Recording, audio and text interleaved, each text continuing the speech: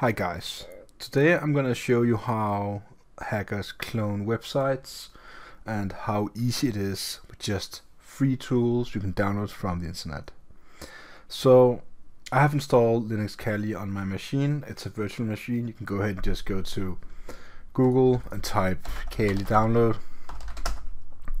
And then you can get numerous different kind of options way to download Linux Kali for either virtual machine or containers, cloud, um, mobile, even mobile. You can even run Linux Kali on a Raspberry Pi if you want to do that. So I have a login page here. It's just a typical login page I'm running on any, you know, just in something called TryHackMe, uh, which I've been done a lot on, a lot of different rooms on before. So what I'm basically gonna do is to go ahead and open a, a, a terminal and type in set toolkit.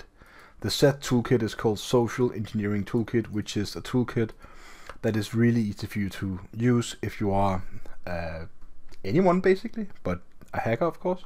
So I'm gonna run it, and this is the newest version. It's the uh, they got some ASCII arts. It's very beautiful.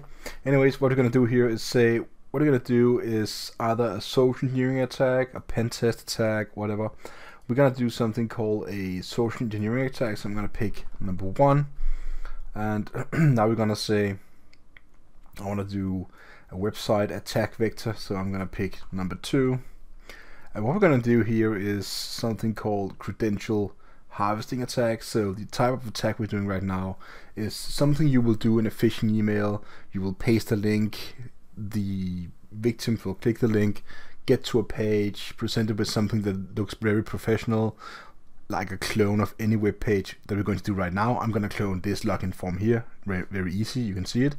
So basically I'm going to pick number three, and it's going to be a site cloner, so I'm going to pick number two. And now it's going to ask for the IP address for the post back. And um, it chooses this one, so I'm just going to uh, press enter and now the site to clone so I want to pick this paste it in and press enter. And now it, it's it's working it's gonna take a little while it says. So until then let's just chill for a moment and look at the stars. Oh ceiling. Anyways. So the site cloner is working and it's cloning the site. And just in a moment we will be presented with a URL that we can uh, open in the browser and it will look exactly like this. So let's go ahead and visit the IP address of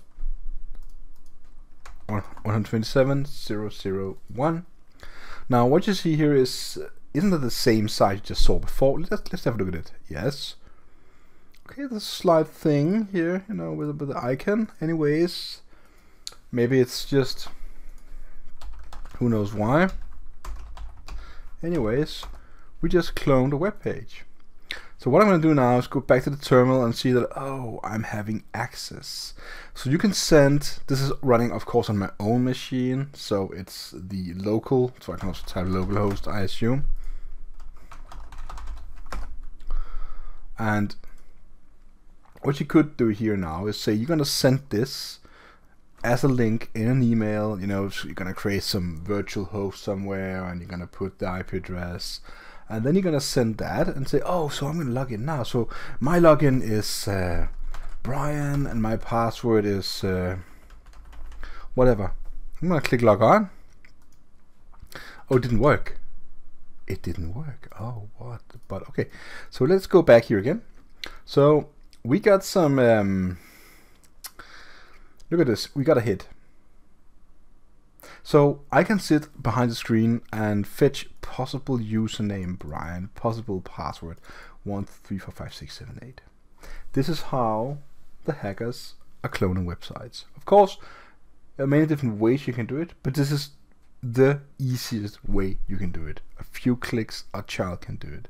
Please be aware that phishing emails are very serious and this is how easy it is to clone a website. We just cloned a website, took all the credentials, and basically we got redirected back, look at this, we're in the same tab, to the original page.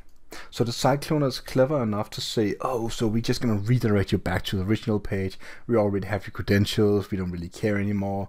Well, let the user log in. We own your account now. We're going to hack the rest of the accounts. This is how it is.